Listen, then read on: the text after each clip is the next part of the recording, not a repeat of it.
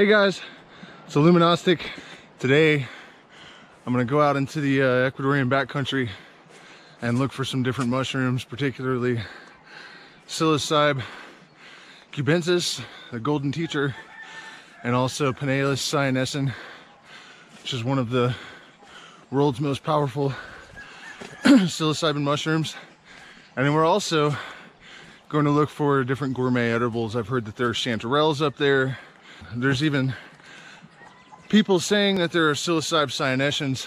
Yeah, we're gonna head up into these mountains over here.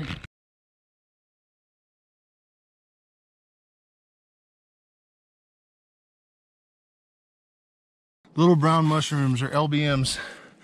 I don't know exactly what this particular strain is, but I can tell you that it does not contain psilocybin, or at least it is not known to me to contain psilocybin. And this is kind of what I was talking about when I mentioned the lookalikes. There's definitely a few coprophilic mushrooms that grow in subtropical areas, and you do have to watch out because they're quite common and somewhat similar. Over here, you guys, you can see the Valley of Longevity. It's called this because people were known to live an extraordinarily long time, upwards of 100 years, with some regularity. Some people said it was something in the water. Others said it was the air, which has been tested to be about as clean as air can get. So here is our first encouraging sign of the day. Um, there's some slightly deteriorated Panaeolus cyanescens here. And I'm not sure what this guy is. But that sure is strange. Some sort of coral horn. Um, so interesting stuff and some promising signs. Some bizarre star-shaped grass wildflowers. Here is what appears to be a very tiny wild passion flower. So here is another one of the potential lookalikes. You can see it has gray gills, no purple veil. It's much lighter in color.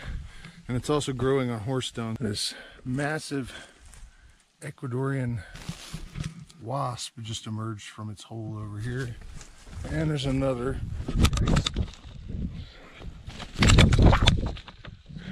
Okay, okay, dude.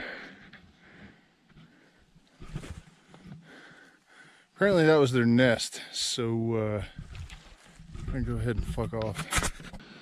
This is a pretty cool mushroom. It is the egg of a stinkhorn, at least we call them in the United States. I'll look around and see if I can find a mature one, but uh, this little egg, basically it has that skin, and then inside there's this gelatinous mass with a star shape on top. These are actually edible. I've never eaten them before, but I think today I'm going to give them a shot and see what else we can find. Finally, after an entire day of fruitless searching, here we have some Ecuadorian Psilocybe cubensis. You'll notice the veil is purple attached to the stem, dark gills that have purple spores. Usually the stem will bruise blue, not so much the cap maybe, but these are perfectly prime. We want them right after the veil breaks. So these are maybe a little too old. There you can see some of the spore on that one. And they are incredibly abundant here in Ecuador. Pretty much anywhere that is tropical to subtropical. Nice little find. If you're out here in the patties looking for mushrooms, these tall clumps of grass oftentimes hide manure. And a lot of times the mushrooms will be found right up against the grass kind of difficult to see. A lot of times they're just growing right out in the middle of the field in the sun.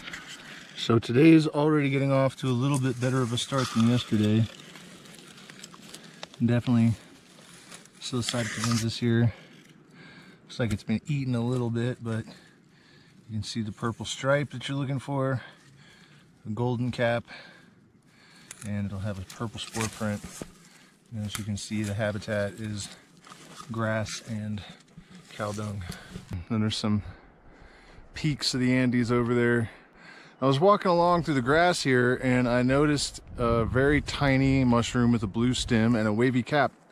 the other day, a guy told me that there are uh, psilocybe cyanescens here. My understanding is that they need cold to fruit and I mean there are a lot of eucalyptus and they grow sometimes in conjunction with those.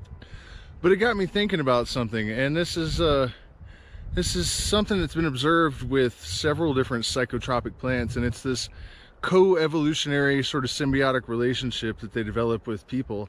Uh, Psilocybe cubensis would not be nearly as common if it wasn't for commercial cattle and even like the local beef cattle fields. If we weren't using these, producing so many of these animals and they weren't producing so much manure, there would not be a fraction of the number of Psilocybe cubensis there are. And also the cyanescen that I was mentioning is extremely rare in the wild. It only tends to occur in lawns and places, parks and places where people have disturbed the natural environment. And aside from mushrooms, there are, uh, you know, datura that tends to only grow in places that have been disturbed by men, at least datura stramonium in, in, in the United States. So it's just an interesting thought that these amazing plants that are capable of uh, such tremendous catalyzation of consciousness and treatment of so many psychiatric and emotional disorders from autism to depression to PTSD. Uh, it's like the medicine is almost following us around. It's creeping up out of nature and saying, hey, you know, this is, I'm what you need to fix your, your society and your culture. And you are what I need to prolificate my kind. A few more pretty nice Panaeolus. I don't know if you guys can see uh, the grass is actually stained black by the uh, spores. Here's something worth noting. Uh, these actually are cubensis, but they were found growing completely submerged in this tall grass. And so they didn't get the characteristic yellow color. So here are a couple of little tiny babies I just wanted to uh, show you guys how quickly they grow. I'm going to come back this evening and oh, just accidentally knocked this little guy loose. So I guess we're going to have to take him.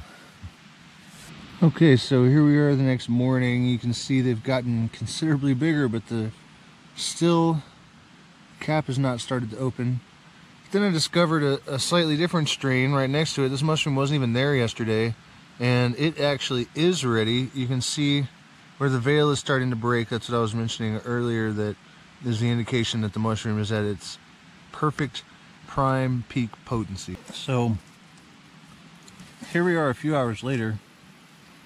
And as you can see, the caps still haven't opened. And interestingly, there's another mushroom, lighter cap.